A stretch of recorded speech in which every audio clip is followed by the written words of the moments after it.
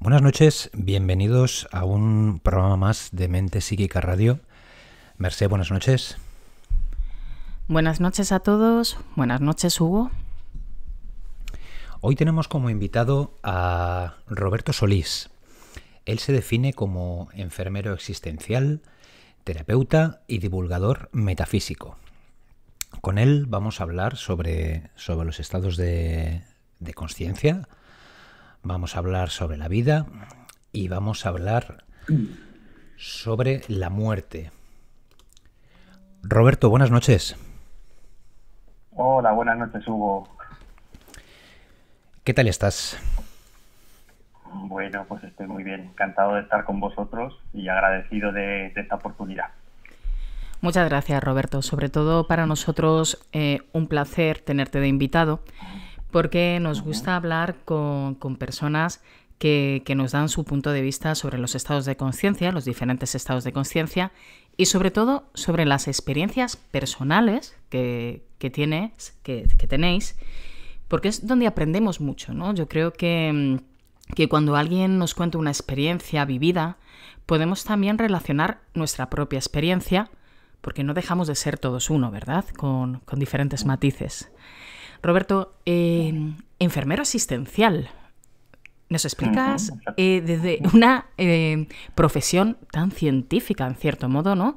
Eh, tan terrenal, como lo vemos los psíquicos cuando nos hablan de, del tema de la medicina? ¿Puedes explicarnos cómo empiezas en esta profesión y cómo ramifica en, en el día de hoy? Sí, bueno, por supuesto. de hecho, este, este término lo creo que, que me vino muy bien porque la enfermería, como tú muy bien defines, eh, junto con, con, la rama de la medicina, eh, se dedica mucho a, a, cuidar lo que es el cuerpo físico, ¿no? lo que yo denomino un poco el, el vehículo, el coche. Y a mí, pues lo que, me, lo que siempre me llamaba la atención, lo que me gustaba, era mmm, cuidar mucho más allá, ¿no? mucho más eh, de lo que hay del cuerpo físico, lo que es la propia existencia del ser humano como, como un ser multidimensional. Entonces creo que el tema enfermero existencial es como esa persona que cuida y da y está acompañando y está siempre al lado de, ese ser humano como, como ser integral. Eso es un poco la, la idea de, esa denominación, ¿no? de, un cuidador de la existencia del ser humano en, esta, en esta vida. Sí, eh, la, la palabra existencial eh, la podemos llevar a experiencias que tienes, porque ¿dónde empiezas con el tema de la enfermería? ¿Te dedicas a, a todos los apartados? ¿Tienes eh, una experiencia con, con algún eh, bueno, enfermo, no querría decir enfermo, con alguna patología? Eh, ¿Nos puedes decir? Porque cuando hemos hablado a nivel personal, sí que nos has contado experiencias con con pacientes, incluso con familiares, uh -huh. que te llevan a entrar a estados de conciencia, ¿no? E, e, incluso a observar que hay una necesidad humana, no solamente física, como has indicado en la descripción eh, de enfermería, uh -huh. sino esa parte emocional, energética que nos estás explicando, ¿cómo nace con, con, este, con este paciente, con estos familiares?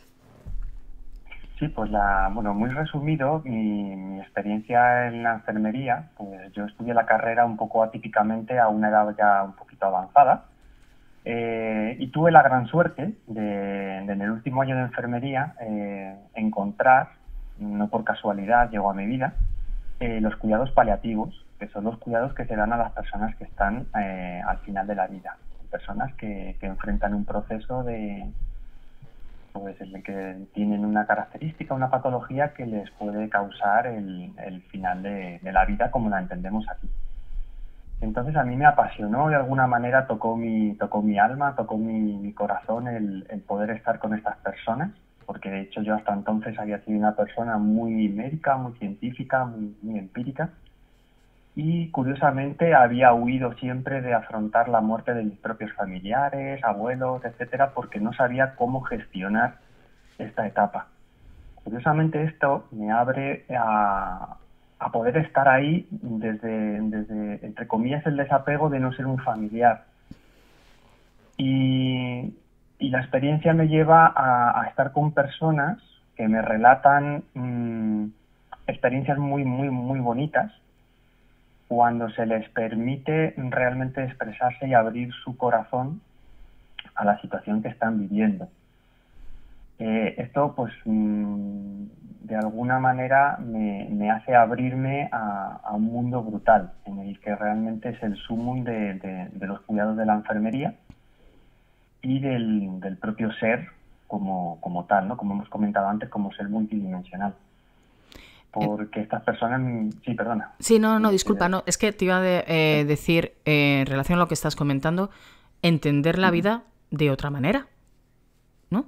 Por supuesto, por supuesto, entender la vida de otra manera y empezar a entender dentro del respeto a todas las formas de entendimiento y enfrentamiento a la, muerte que, pueda haber, empezar a dar una opción muy importante a todas esas personas que empiezan a experimentar cosas que no habían experimentado nunca en su vida, quizá por la educación que han recibido. Las personas se abren a, contarme una vez que yo consigo pasar ciertas barreras, ¿no? Eh, bueno, pues que sienten, sienten personas que están allí acompañándoles, pero que no son personas físicas, que, sienten, sienten presencias, que incluso algunos me relatan que, que padres que ya han fallecido están allí acompañándoles, que ellos empiezan a sentir una especie de apertura conciencial en la que en la que salen como más allá de su cuerpo y empiezan a, sentir a las personas que están allí acompañándoles, incluso a, personas que están en otras habitaciones. Entonces todo esto al principio me lo, me lo van relatando ellos.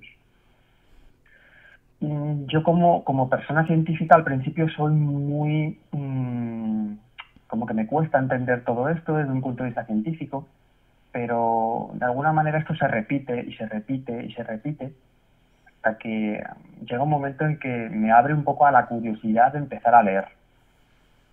Y, eso es un poco un, punto de partida muy importante, porque a través de las lecturas de, Elizabeth Kubler-Ross, que es una persona, una eminencia en los cuidados paliativos, me abre a mm, una existencia del ser humano más allá de esta existencia física. Y un poco ahí es donde comienza toda la, toda la historia. Es una pregunta eh, un poco especial lo que te voy a hacer. Eh, entiendo que ese despertar pudo ser un poco doloroso eh, a nivel emocional. Me refiero cuando despertamos y vemos la verdad, ¿no? Nuestra verdad. Hay un choque entre, entre sistemas de creencia como has dicho anteriormente que estabas comentando, que claro, que empiezas a escuchar esos comentarios, estas historias, estas experiencias, y al principio te cuesta, pero luego empiezas a investigar, empiezas a coger datos con, este libro y te das cuenta de que hay otra realidad paralela, vamos a, poner este nombre para que los oyentes no, nos entiendan, cuando sucede, cuando estás en este punto de tu vida, emocionalmente, físicamente, ¿cómo, cómo es tu despertar? ¿Cómo, ¿Cómo describes esas sensaciones, ese momento? Pues es una sensación, mm, curiosamente y paradójicamente, muy bonita, porque es como cuando una persona siempre ha sabido o ha intuido o ha sentido, pero no ha sabido explicarlo, que, que hay algo más, y de repente se le ofrece la oportunidad o te llega la información o empiezas a sentir que realmente eso aunque a la mente le cuesta entenderlo, hay una parte de ti que, te, que, está diciendo, sí, esto es así. Eh, esa conexión con, tu alma, con tu espíritu, te está diciendo, claro, esto es así. Y, lo, y, lo, entiendes como algo lógico y normal, algo que tu mente no puede explicar, pero que tu, que tu esencia sí entiende. No sé si, si, me, hago, eh, si me hago entender. Sí, sí, eh, yo personalmente sí te entiendo. Sí, es una... sí, te entiendo perfectamente. Mm. Y, claro, claro, es en ese recorrido hasta el día de hoy, ¿has ido colocando estas sensaciones, este, esta relación con el alma, con, con el pensamiento? ¿En qué mm. momento te encuentras ahora, Roberto, de tus investigaciones, de, de tu divulgación, que ahora hablaremos sobre esa palabra que utilizas, que hemos visto en vídeos que, tienes, donde presentas, te presentas, eh, explicas, eh, bueno, pues tus experiencias, tus puntos de vista. ¿Qué es lo que sucede eh, con esta parte que llamamos agitador de conciencia? Es decir, Roberto está en este, este punto en el día de hoy en el que se denomina agitador de conciencias.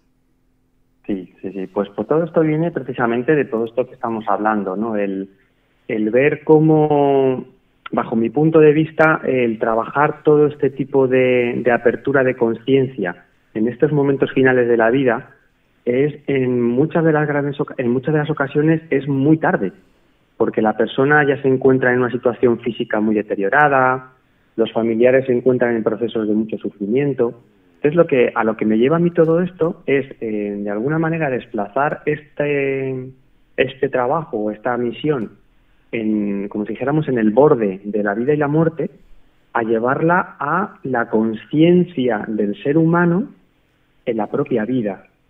Porque hay una frase muy bonita que Elizabeth Kubler-Ross dice en su libro, y es que dice que no puede haber conciencia de vida sin conciencia de muerte. Y eso es algo que a mí me tocó mucho cuando yo, cuando yo lo leí la primera vez y dije, es que es verdad. Eh, estas personas son tan sabias que cuando ya mm, están en este proceso, te dicen frases como, Mm, si yo ahora volviera a vivir o a tener la conciencia que yo tengo en este umbral entre la vida y la muerte, me hubiera tomado la vida de una manera muy distinta. No hubiera tenido tanto miedo, no hubiera tenido eh, tanto miedo a la muerte, me hubiera atrevido a hacer muchas cosas que no he hecho, eh, me hubiera expresado como me quería haber expresado y no hubiera tenido tanto miedo. Entonces, de alguna manera, esto a mí me hizo, me despertó el que, el que la conciencia del ser humano tiene que ser agitada o despertada, como si fuera una sacudida cuando te cogen por el pecho, mucho antes de que el proceso de la muerte se esté acercando, para que realmente podamos tener esa conciencia de lo que somos, cada uno dentro de su libre albedrío y respetando su ideología, pero saber que somos algo más, que somos seres magníficos, poderosos, súper super grandes, con una misión muchas veces enorme, y dejar de vivir en, esa escasez, en ese miedo a la muerte, en ese miedo a, en esos apegos, ¿no? En ese, eh, como si dijéramos, eh, dejar de estar en esa baja vibración material en el que parece que tenemos un tiempo limitado para hacer las cosas y si no, mm, fíjate qué desastre, a de repente ampliar la conciencia y decir, todo es perfecto, em, estoy viviendo una experiencia que es perfecta tal como es y el tiempo no se me acaba nunca, sino que simplemente he elegido, yo pongo este símil, ¿no? Eh, he elegido esta vida que tengo ahora, como el que sale un fin de semana a pasarlo por la montaña, y lo que he vivido lo he vivido, y no pasa nada si he elegido un camino, si he elegido otro, eh, si he llegado antes, si he llegado después, eh, no pasa nada, no hay culpa, no hay, no hay nada malo. Entonces, todo este movimiento conciencial es lo que yo poquito a poco quiero ir eh, haciendo llegar a las personas que ya estén preparadas para empezar a mm, digerir este tipo de información. Entonces, agitar la conciencia sería quitar esos miedos relacionados ante todo con la muerte, como tú bien indicas en tus vídeos, tabú, tabú eh, eh, de la muerte. Explícame, porque además mm. defines muy bien en un vídeo eh, el tabú, por ejemplo, eh, que hubo durante un tiempo, y yo creo que sigue habiendo, pero bueno, es un, ya es una opinión personal relacionado con el sexo, ¿no? Es, ahí hay un tabú o hubo un tabú. Y hablas del tabú de la muerte. Si tenemos que agitar la conciencia, es decir, bueno, si tienes que eh, agitarnos la conciencia porque yo estoy dispuesta, porque eh, voy a entender lo que me estás explicando. Eh, cada uno es libre de sentir y, creo que, bueno, pues el conocimiento de cada persona va en base pues a una línea, ¿no? Pues como soléis decir habitualmente a personas que vibran de, de una misma manera, esa agitación tendríamos que empezar con ese tabú hablando más sobre la muerte. Pero desde el otro concepto, porque tú lo estás diciendo de que es como resetear todos los cerebros, eh, quitar lo que desde antaño, ancestralmente, eh, han ido inculcando con esa pérdida material, física material, y ese desapego, ¿tendríamos que ir muy, muy hacia atrás? ¿O cuál sería tu idea para, para quitar ese tabú?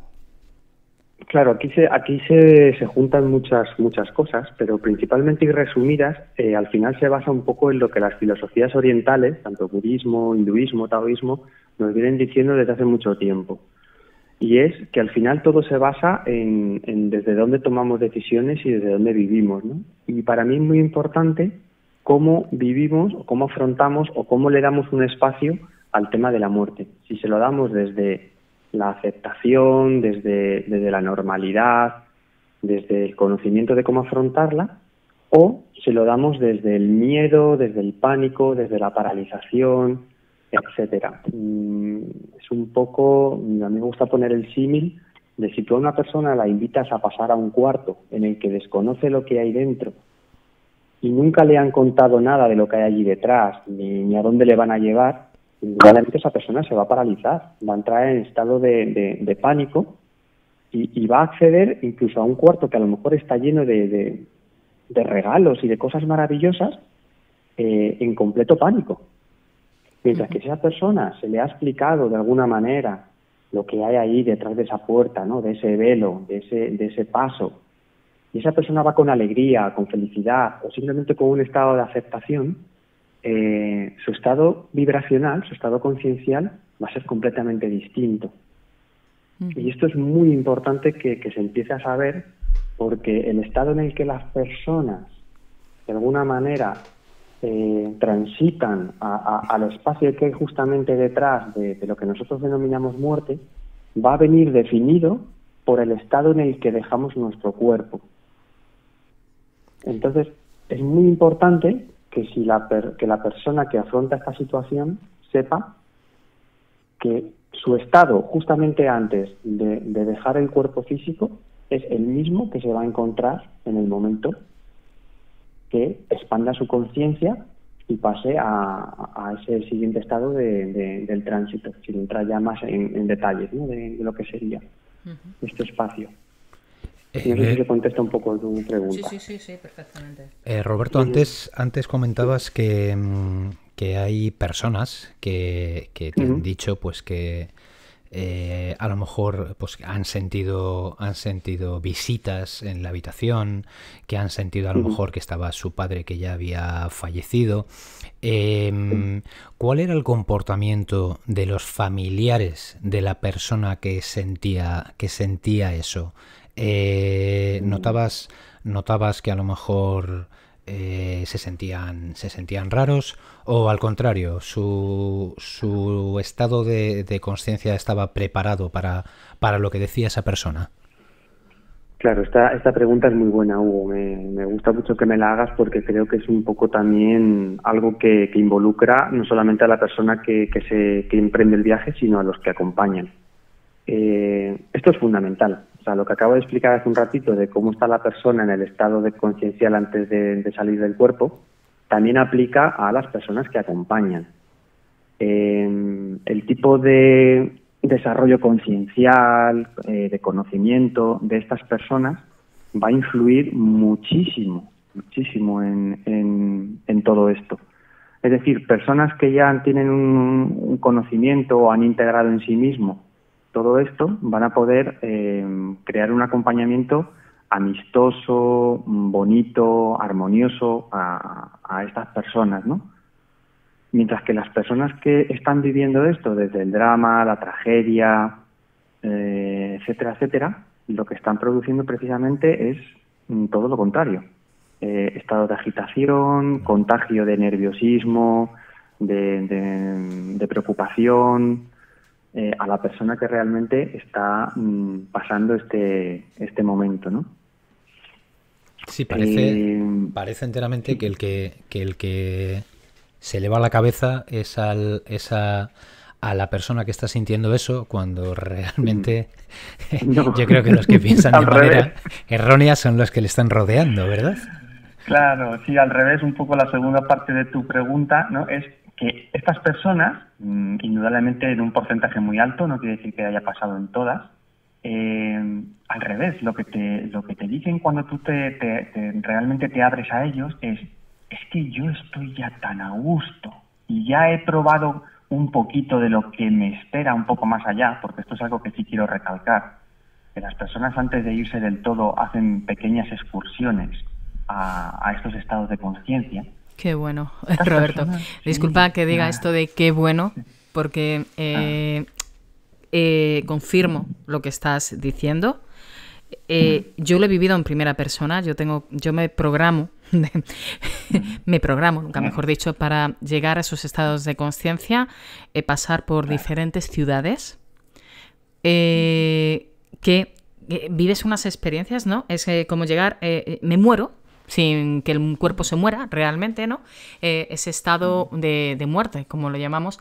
Pero es que me parece maravilloso que me vayas a hablar de este tema porque es algo que yo vivo y muchas veces no sé explicar. Entonces, disculpa que te haya cortado, pero me parece maravilloso que nos hables de este punto. Sigue, por favor, porque me vas a sacar de muchas dudas, además.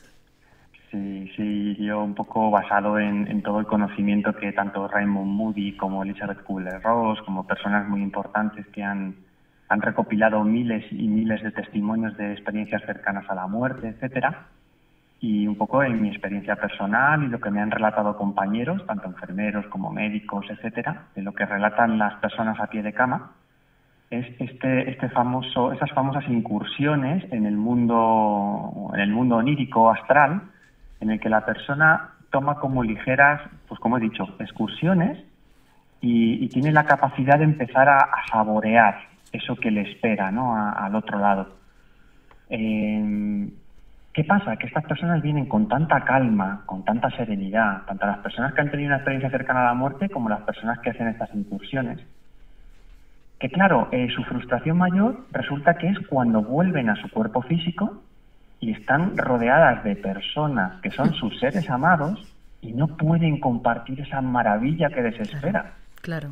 Porque van a decir, esta persona está loca, eh, la medicación le está sentando mal. Mm. Entonces, claro, los propios médicos, nosotros como enfermeros, eh, los familiares, ¿cómo actuamos ¿no? cuando una persona nos empieza a contar esto? Nos reímos de él, mm, porque muchas veces tenemos que tener en cuenta que ellos ya vienen con la conciencia expandida.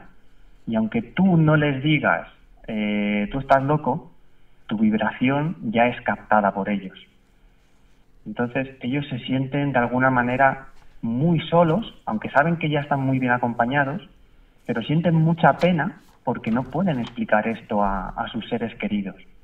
Entonces esto es importante que se vaya sabiendo, que se vaya entendiendo, que cada uno a su ritmo y en su estado de conciencia se respete, pero que también respete ¿no? a, las personas que, que ya están viviendo esto, que ya están preparadas para saberla, incluso que quieran compartirlo con, con sus familiares porque creo que es algo muy bonito, ¿no? Y que todo el mundo debería de ir poquito a poco sabiendo. Y, bueno, y creo que, quita muchos miedos, ¿no? El saber todo esto y, luego también una cosita que me gustaría puntualizar para no quitar mucho tiempo. Sí. Eh, mayoría, la mayoría de las personas que se dedican a, investigar esto, y hay un libro precioso que me gustaría recomendar a, gente que le guste este tema, que es el del tránsito de, Emilio Carrillo. Muchos doctores y gente muy importante te dicen que la conciencia y el ser nunca experimentan los últimos segundos de la agonía del cuerpo. Esto es muy importante para las personas, porque yo me he encontrado que un gran porcentaje de las personas lo que tienen es miedo a el hecho de la muerte en sí. Cómo se apaga un cuerpo, cómo se agoniza, cómo se esto me va a doler, no me va a doler. Mm, hay muchas, muchas teorías y muchos, eh, muchas investigaciones sobre esto y, y, todas coinciden en que la conciencia y el ser que nosotros somos realmente no vive esos momentos. Y esto es muy importante. Eh, al igual que me hablas de, de esa situación, de, de, esa muerte, entre comillas, el concepto de la vida, porque vivimos hoy en día eh, bueno, pues eh, en un sistema en el que las personas estamos más preocupadas por pagar facturas o porque alguien de mi lado me pueda hacer daño. Esa experiencia con la vida que, tú tienes, ese disfrute de la vida eh, para poder explicar a, los oyentes qué es lo que podemos mm. entender como vida, para poder apoyarnos y, quitar esos odios, esas, esas emociones que a veces hay que pasar para aprender, estoy de acuerdo, pero yo creo que ya está eh, como adulterado todo, ¿no? Estamos en un punto que, que, no podemos vivir bien, tenemos que discutir con el coche de al lado, tenemos que ir por la mañana pensando, eh, jolines, qué mal, que tengo que ir a trabajar, en vez de darle una vuelta ¿no? a todo y decir qué bien este trabajo me va a facilitar poder vivir de la manera que yo quiero. ¿Qué puedes hablarme de la vida, Roberto, de lo que llamamos vida, eh, de este, bueno, de, esta existencia, ¿vale?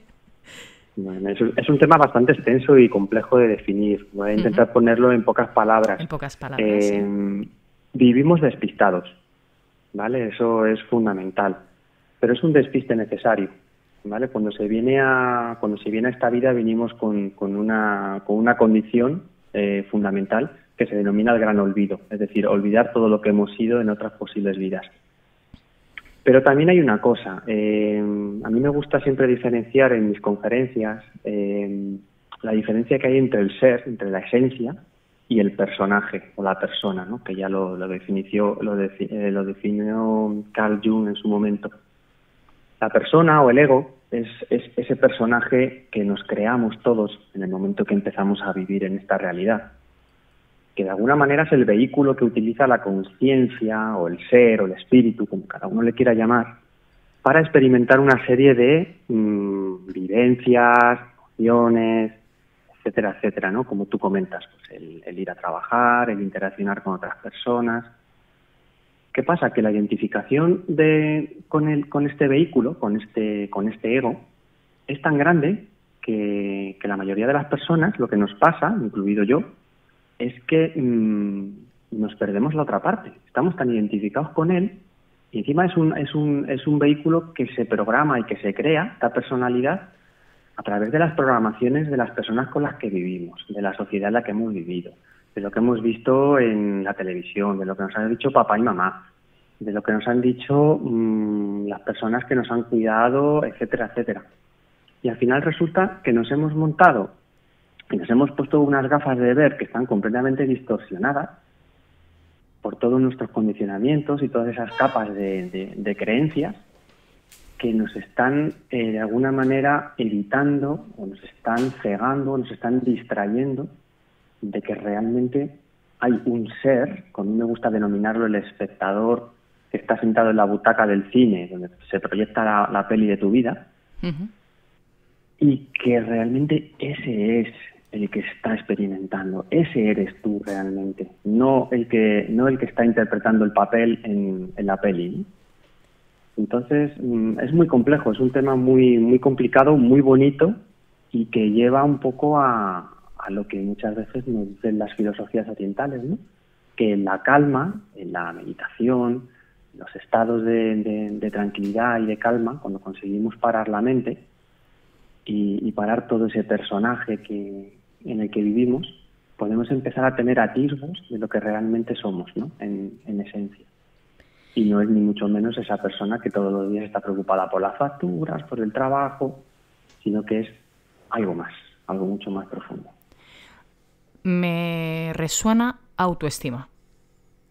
Es decir, el tener una personalidad eh, recogiendo tu esencia, observando cómo eres, sin mirar a esa persona que ha educado unos padres, porque claro, todos nos educamos en un ambiente, captamos esa personalidad, vamos perdiendo la autoestima, porque la autoestima es el valorarse uno mismo, si yo tengo autoestima y empiezo a crear esa personalidad propia en base a los momentos que voy pasando, porque creo que estamos de acuerdo que no somos los mismos que hace unos años. Yo por lo menos no, soy la misma. La esencia es la misma, pero la personalidad he ido pues cogiendo una personalidad más firme.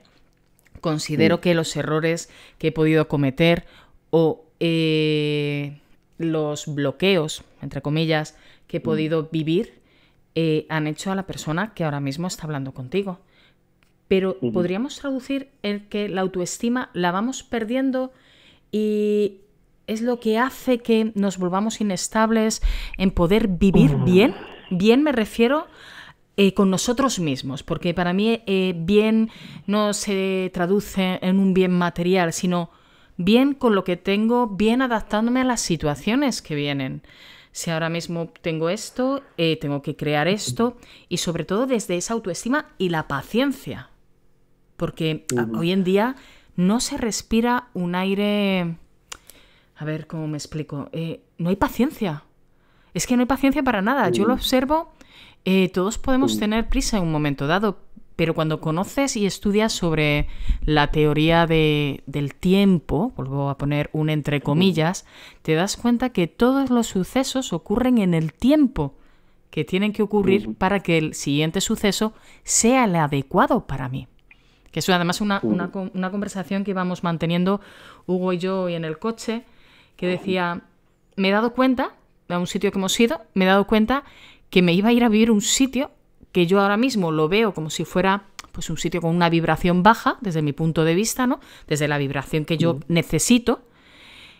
Y gracias a un encuentro con, bueno, pues con una serie de personas que, que, no cuadramos con, con, lo que es poder alquilar una vivienda y demás, no llegamos a ese punto. Y en aquel momento, aquel día, era, oh madre mía, eh, no lo hemos conseguido, ¿qué vamos a hacer ahora? La impaciencia, esa ansiedad que, que, te llega. Y hoy por hoy te das cuenta que era lo mejor para ti porque estás ahora en el punto que era necesario estar para sentir la vida. En ese concepto, volviendo al inicio de mi pregunta, ¿Consideras que la autoestima es una, es una base fundamental para poder trabajar también a través de experiencias, eh, personas, eh, divulgadores de, de la conciencia, acogidos a ese sistema de paciencia? Pues mira, me viene un poquito, esto es un poco algo que estoy sintiendo ahora mismo, según tú me estás comentando esto, ¿no? Em, creo que la autoestima a veces se confunde con mm, la coherencia de, tu, de tu esencia, ¿no? De tu alma. Eh, la autoestima puede estar de alguna manera vinculada a valores exteriores de una sociedad que al fin y al cabo son completamente arbitrarios. Es decir, hay gente que puede tener una autoestima alta porque tiene un sueldo muy alto, porque tiene una casa muy grande, porque tiene un coche muy chulo, eh, bueno, etcétera, etcétera, ¿no? Cuando esa autoestima se basa en, parámetros externos creados por una sociedad, no vamos a juzgarla, simplemente por una sociedad, ¿no? Con unos valores. Sí. Quizás una autoestima errónea o una autoestima disonante.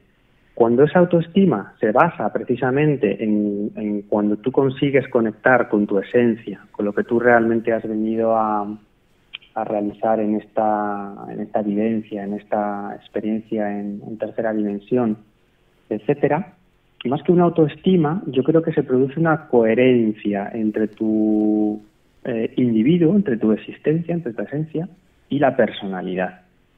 Creo que son como vías distintas.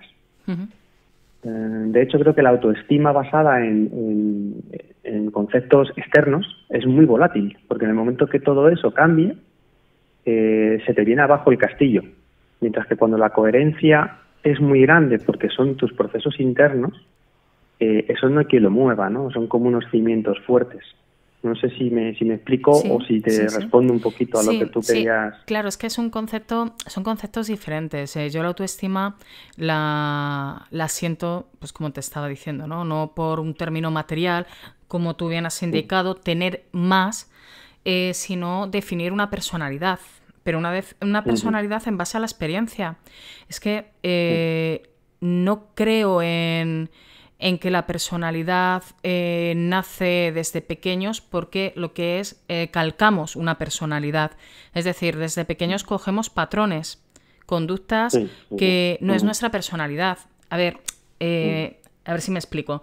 Tal y como describen qué es la personalidad, sí sería así, pero por mi sentir, la personalidad es ir avanzando e ir haciendo esta, esa persona que somos eh, en base a nuestras experiencias. Si yo ahora eh, siento la vida de una manera diferente, es decir, para mí la vida es pura paciencia, es algo que he aprendido y estoy muy orgullosa, porque para mí la impaciencia en un momento dado me enfermó, eh, yo ahora absorbo la vida y veo el tiempo de diferente manera. Considero que mi personalidad ahora es totalmente diferente e incluso tengo más autoestima que antes que podría tener más cosas materiales o tenía otra filosofía en la vida. Es exactamente lo que eh, creo que es lo que estás comentando, ¿no? explicado de otra manera, pero era lo que quería explicar a los oyentes, el, término, el concepto de lo que es la autoestima, tal y como lo ah. definen en un diccionario, ¿no? La personalidad a lo que es realmente con un sentir y con, con esa experiencia de los estados de conciencia. Cuando vemos tus vídeos, nos encontramos con una definición muy interesante que es que te defines como empoderador de seres humanos. Me gustaría que nos explicaras, porque la palabra empoderamiento está muy vetada, claro, solo nos fijamos en, los que empoderan a la gente de una manera tóxica, entre comillas, ¿no? Entonces, eh, ¿cuál es el concepto de, la descripción de Roberto Solís? Sí, bueno, este concepto de, de, empoderamiento es algo que siempre hay que matizar, ¿no? Porque eh, parece que, tiene un parece que tiene una, como un componente despectivo ¿no? a la gente, parece que es como que, lo que estás haciendo es crear narcisistas ¿no? y gente con un concepto de superioridad y nada más lejos de la realidad. Eh, el concepto de empoderamiento personal yo lo llevo para que nos hagamos una idea y ponernos un poco en, situación. Eh, llevamos viviendo durante más de bueno, pues unos cuantos milenios, por poner unos dos mil años, eh, estamos viviendo en un sistema que se denomina paternalista. El sistema paternalista es el que en el que existe un pater, que es un padre externo, que te dice todo lo que tienes que hacer. Entonces hemos tenido muchos padres, hemos tenido, sin entrar en, calificar si son mejores o peores, hemos tenido siempre un padre que se ha denominado el Estado, que se han denominado las monarquías, o que ha sido una iglesia, o ha sido una religión, o a día de hoy, por ejemplo, tenemos eh, un sistema sanitario que es muy paternalista, que nos dice lo que tenemos que hacer, lo que tenemos que tomar, cómo proceder a la hora de cualquier cosa. Un sistema económico, judicial, que siempre nos está diciendo desde fuera y apuntándonos con el dedo como culpables o inocentes. Es decir, el paternalismo significa que tenemos un padre acusador y castigador fuera que nos dice cómo tenemos que actuar. Y nosotros somos los, los filios, somos los hijos que obedientemente acatamos esas órdenes. ¿Qué es lo que intento yo hacer ver a la gente o, intento hacer con todo esto? Es empoderar al ser humano de que sea capaz de tomar sus propias decisiones basadas en su propio criterio y su coherencia. Es decir, que sea capaz de escuchar lo que otras personas sean capaces de proponerle, por supuesto personas con estudios, personas con, conocimiento, basadas en, pues en muchas cosas, pero que al final ese, discernimiento interno, esa, capaz de, esa capacidad de decidir sobre el futuro, la vida, el trabajo y la existencia, vengan del interior de uno mismo. Es decir, como a mí me gusta decir, que seamos los capitanes del rumbo del barco de nuestra vida. Es decir, que no haya nadie más diciéndonos hacia dónde tenemos que navegar que si alguien decide estar trabajando toda su vida, hasta los 65 años, con un trabajo de lunes a viernes y pagando facturas y haciendo cosas que para muchas personas ya a lo mejor no nos cuadra, pero si esa persona lo elige porque es su elección, es perfecto, pero que no venga impuesto desde fuera, que no haya un sistema por encima que les esté diciendo lo que tienen que hacer. Y esto está muy vinculado con la conciencia. que una persona no despierta en conciencia y es capaz de autoobservarse y ver si lo que está haciendo es porque realmente lo ha decidido o porque le ha venido impuesto desde fuera, esa persona nunca va a ser una persona consciente, va a ser una persona manejada, va a ser una persona eh, como un títere, ¿no? que siempre va a tener una serie de, hilos que van a estar movidos por, una serie de intereses económicos, eh, por una serie de poderes Mm, energéticos que le va a interesar que estén en un estado de conciencia bajo para alimentarse de esas energías, etcétera, etcétera, ¿no? Entonces se trata de otorgarle al ser humano, al individuo en sí, el poder de tomar sus propias decisiones. Nada más y nada menos con la responsabilidad que todo esto lleva, por supuesto. Por supuesto. Que no es sencilla. por supuesto. Y cuando nos vemos asumidos en, en esa manipulación mental, que nosotros en cierto modo estamos autorizando, ¿no? Eh, ¿Tienes alguna técnica, porque he leído también que trabajas con biodinámica sacrocraneal? ¿Sería una técnica, una terapia complementaria que nos ayudara a liberar el cuerpo de, esa jaula que nosotros mismos ponemos? ¿Me puedes explicar en qué consiste esta terapia? Bueno, esta terapia que yo utilizo, eh, de alguna manera lo que sobre todo realiza, es una terapia muy basada en, el, tratamiento energético, eh, se basa sobre todo en, alinear un poco los, cuerpos del ser humano. El ser humano está compuesto por varios cuerpos, principalmente físico, etérico, emocional y mental. Y de alguna manera están completamente interrelacionados, ¿no?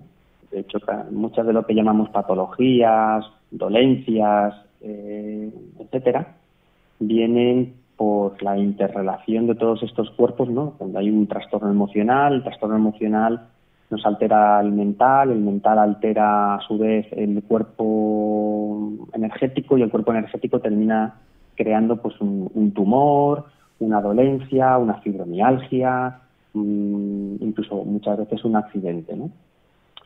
Lo que intenta que hace casi siempre todo este tipo de terapias alternativas, ya no solamente la biodinámica, ¿no? que es muy potente, es intentar armonizar y poner en marcha los procesos intrínsecos de sanación que tiene el propio cuerpo.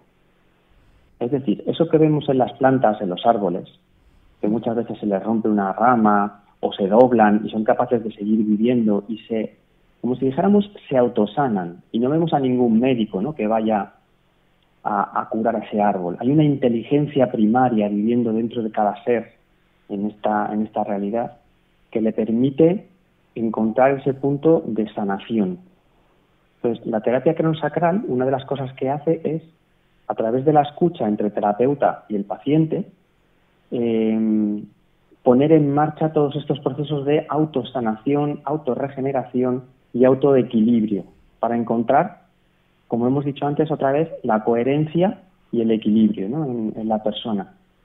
Y, de alguna manera las personas con las que yo he trabajado y con las que con las que le he hecho esta terapia que me parece muy muy interesante, siempre me han referido eso, ¿no? Eh, un estado de calma, un estado de vacío, eh, un estado de como de entrar en un sitio, incluso que mucha gente me ha comparado como cuando como cuando estás en el, en el vientre de mamá, como que todo es perfecto, ¿no? Como que estás ahí metido, En, ese espacio. Entonces es un poquito, sin entrar en mucho detalle, ¿no? De, cómo se realiza la técnica y lo que hay detrás de ello, es eso, ¿no? Restablecer ese equilibrio que muchas veces perdemos en, la, en el día a día.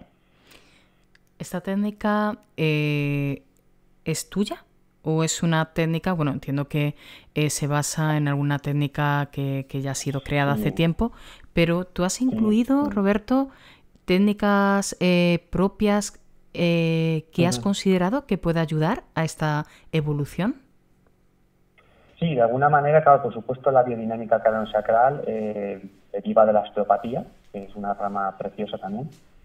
yo he aprendido esta técnica y a partir de ahí he ido integrando un poco eh, algunas cositas que a mí me han ido llegando en mi vida.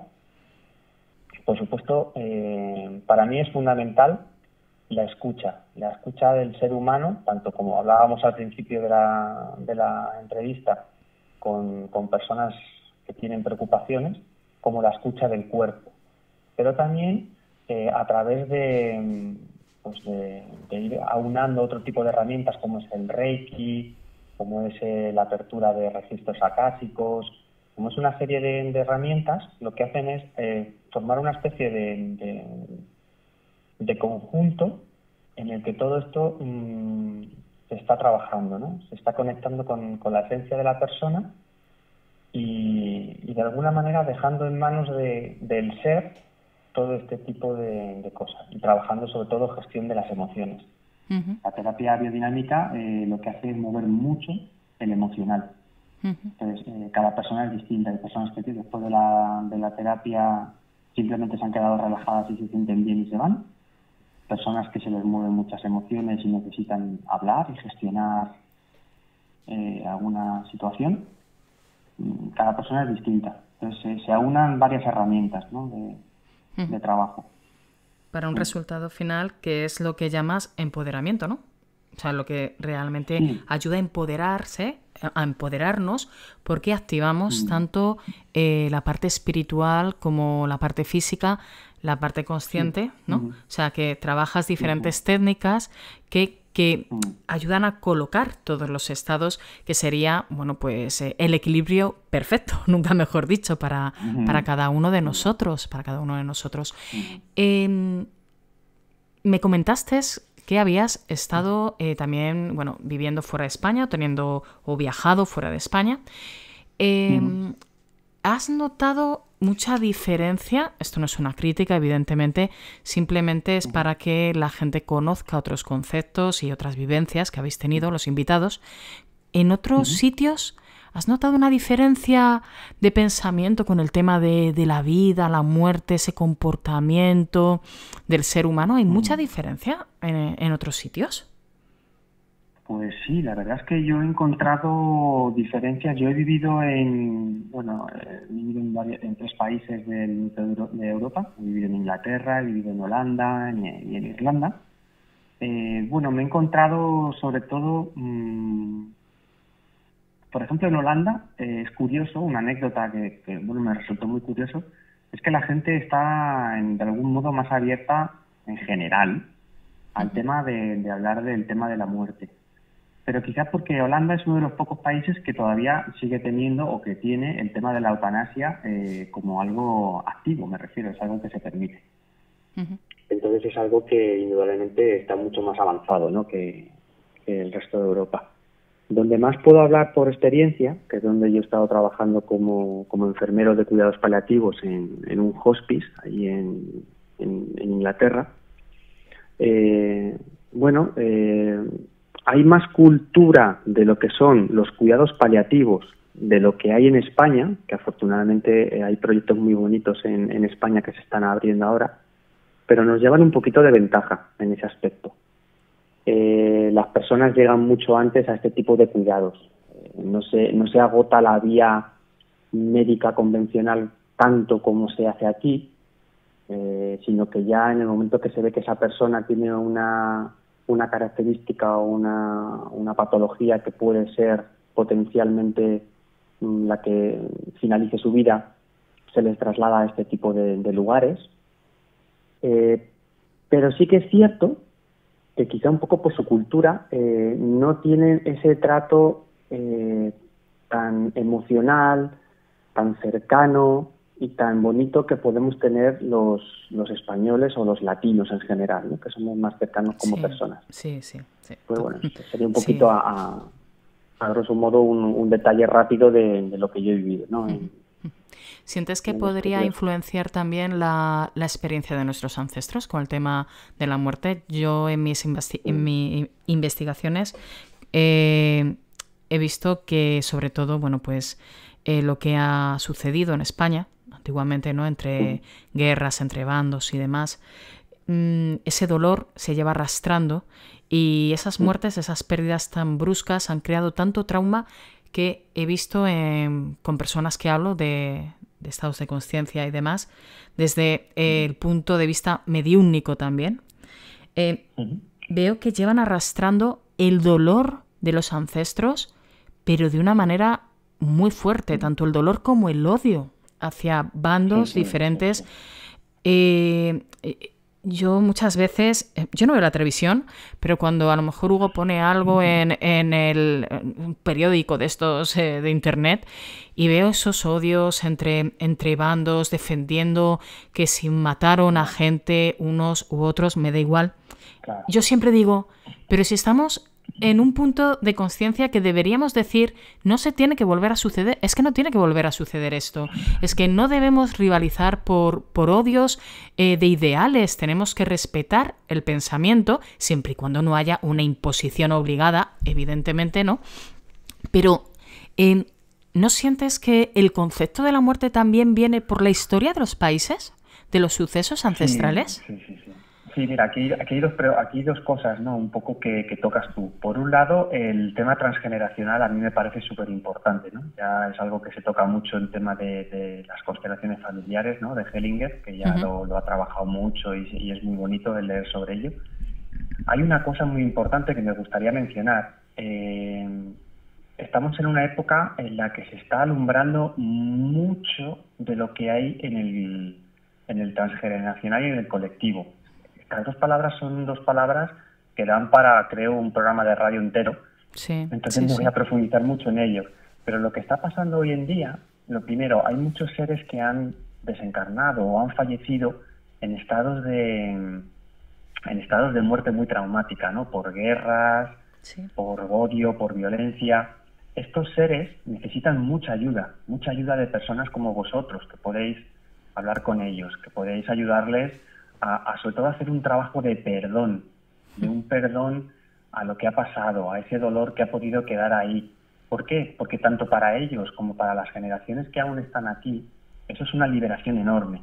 Creo que eso es algo que se debería hablar, ¿no? que quizá tranquilamente podríamos un poco comentar en otro momento. Sí, sí, estoy totalmente de acuerdo. Y luego, sí, también eh, se está produciendo un momento en el que estamos en el que estamos en, una época muy especial ¿no? en, sobre el planeta Tierra ¿no? estamos en un, en un final de ciclo que ya empezó en el 2012 y un inicio de una nueva un nuevo paradigma en el que lo que se necesita precisamente es alumbrar todo eso pero a base de perdón de amor de, de, de entrar ya dejar la violencia dejar toda esa densidad y ahí tienen un, un, valor muy importante personas que puedan trabajar, pues eso, ¿no? Tanto el transgeneracional a nivel de, personas que están todavía, eh, como si dijéramos, pues atrapadas en, ese tránsito, como de las personas que están aquí.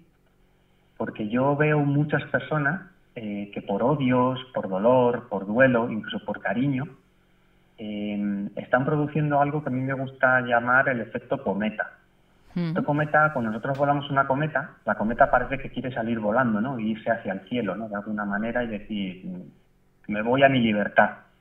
Pero hay un hilo de nylon invisible que la mantiene unida con la Tierra. Em, hay muchos seres que por la manera de irse de, esta vida, etcétera, se han quedado mm, quizá porque, porque las viudas, los hijos, eh, personas, planes pendientes, cosas materiales, aún les mantienen unidos, ¿no? Entonces son como esos, como esos pequeños hilos que les mantienen unidos como cometas, ¿no? Y que les impiden realmente ir a donde tienen que ir y estar en esa tranquilidad en la que tienen que estar. Pero bueno, creo que eso es un tema ya. Sí, eso es un tema. Para... Sí, que me estoy apuntando, Roberto, porque este año Mente Psíquica eh, bueno, va a empezar con su primer congreso. Eh, vamos a reunirnos, eh, pues, invitados y eh, me encantaría, nos encantaría que estuvieras de invitado en el Congreso. Y es un tema que me gustaría tratar contigo. Me gustaría que explicáramos, porque yo tengo esa parte de mediunidad que, que la gente además tiene un concepto creo, totalmente equívoco con la, mediunidad. Gracias eh, bueno, pues a la vida, las oportunidades que, van apareciendo, eh, nos van a, mm, vamos a poder hablar en Divulgadores del Misterio sobre mediunidad e investigación. Y es donde voy a romper un poquito lo que es eh, la manipulación del nombre, porque nos encontramos con que la gente se agarra al medium en un acto de desesperación. La gente que me conoce sabe que bueno, pues he intentado ayudar, pero ¿de qué manera? Siendo un canal simplemente una radio de transmisión a esos mensajes. Y lo que estás diciendo es muy interesante porque es una manera eh, muy fácil, estás explicándolo de una manera muy sencilla, que yo no logro explicar, no sé expresarlo como tú, y juntando las dos teorías, ¿para qué estamos realmente? ¿no? Los medios también para sanar eh, esa parte ancestral, pero no nosotros, sino al hablar con ellos. Yo siempre digo, al igual que cuando yo estoy con un bloqueo, con una sensación, me gusta transmitírsela a un amigo, ellos también tienen que ser escuchados para desahogarse y que ese estado se quede, como dicen, no, en paz, que para mí es otra, es otra palabra la que emplearía, pero para que resuene sería en paz. Y me vas hablando y voy viendo esa, esa ponencia que vamos a hacer en el Congreso, en el primer Congreso de Mente Psíquica, Y es un tema que vamos a tratar, si te parece bien, Roberto. Vamos a prepararlo desde tu concepto de, eh, bueno, divulgador de conciencia, eh, porque creo que vamos a llegar muy bien a las preguntas que habitualmente me suelen hacer y quitar ese concepto de la mediunidad como la persona que solamente habla con espíritus y que siempre dice, te dicen que está bien, ¿no? Eh, soy aquí un poco guerrera, ¿no? Porque voy un poco en contra de la estafa que hay con, las capacidades psíquicas, porque hay muchas limitaciones. Eh, todo ser humano está capacitado a crecer cuando él mismo considere crecer. Hay que aprender a medida que uno va caminando. No hay que obligar a nadie, pero si activáramos más las sensibilidades psíquicas, las personas vivirían mejor. Y vuelvo a describir para lo que para mí es vivir mejor. Es sentir cada minuto el presente y sobre todo tener convivencias y experiencias con personas que, bueno, pues que, que hablan un mismo idioma y que se pueden aportar unos con los otros. Entonces, por eso lucho en cierto modo un poquito contra las estafas de la mediunidad y las capacidades psíquicas y transmito desde aquí que todo el mundo puede trabajar su sensibilidad y que además con personas como tú, que has tenido diferentes experiencias desde el lado más científico al lado más, para mí, coherente, pues podemos aprender mucho y de hecho yo hoy he aprendido mucho. Te agradezco, Roberto, que esta noche hayas estado con nosotros. Evidentemente. Me gustaría, sí, me gustaría puntualizar sobre lo que estás comentando, un, un pequeño apunte, ¿no? me quedo con eso que estás tú comentando y creo que hay una base fundamental. Ante todo, respeto al proceso conciencial de todos los seres humanos que hay en este planeta, porque todos son perfectos. Y sobre todo quiero lanzar una propuesta a todos los, por ponerle de alguna manera una llamada profesionales, que nos dedicamos tanto a la medicina, la mediunidad, la enfermería, la psicología, todos creo que el momento de dejar de luchar los unos contra los otros está aquí, ya. No estamos aquí para luchar entre nosotros. Eso es lo que nos han querido hacer creer siempre. Estamos aquí para colaborar, para escucharnos, para sentirnos, para no juzgarnos y abrirnos de una vez a lo que el otro nos puede aportar. Entonces, esto es como una relación de pareja, como una relación en un trabajo. Tenemos que abrirnos. Si seguimos luchando los unos contra los otros, la frase del divide y vencerás, mm, para mí, es la que ha estado imperando en este sistema. Y creo que eso ya es el momento de, acabar con ello.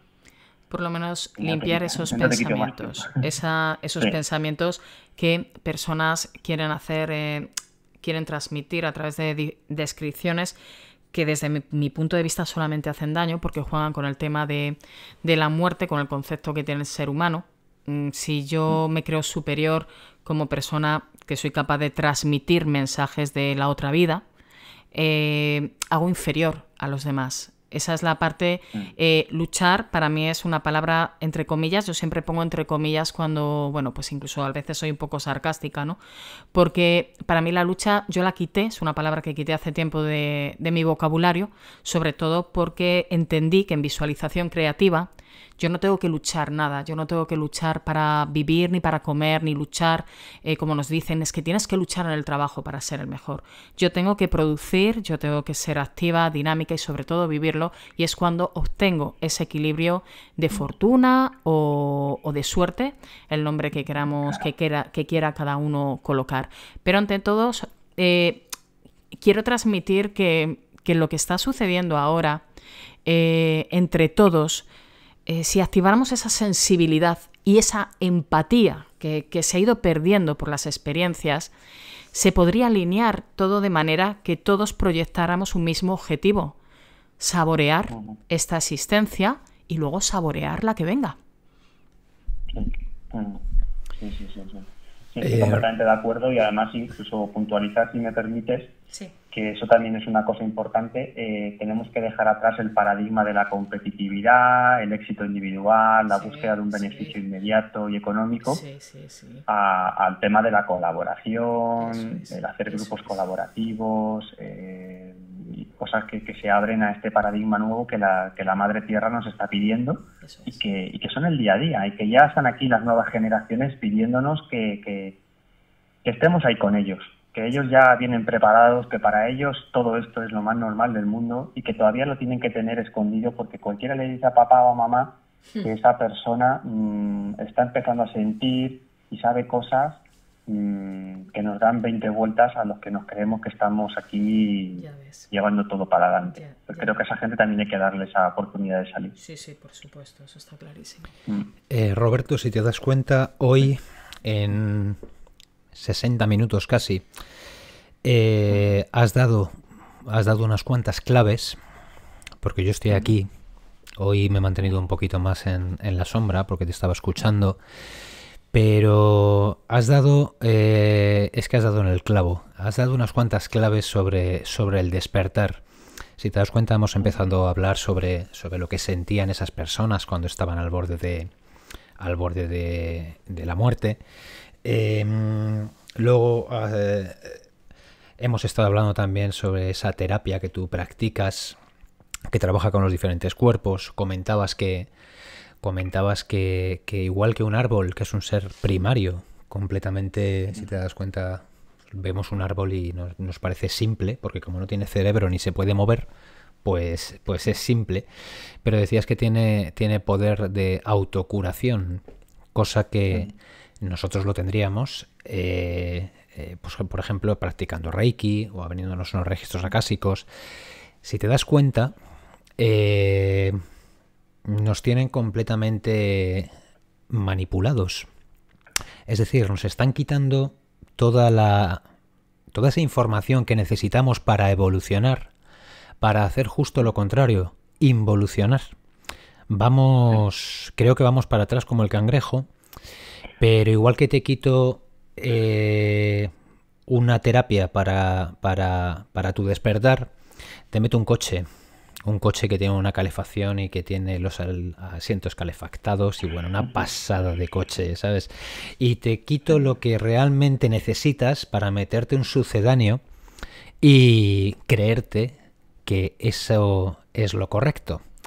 Eh, nos has dado unas cuantas claves hoy que yo creo que las personas que, entiendan y escuchen el programa eh, en diferido, eh, creo que vas a provocar un, un, pequeño despertar en ellos.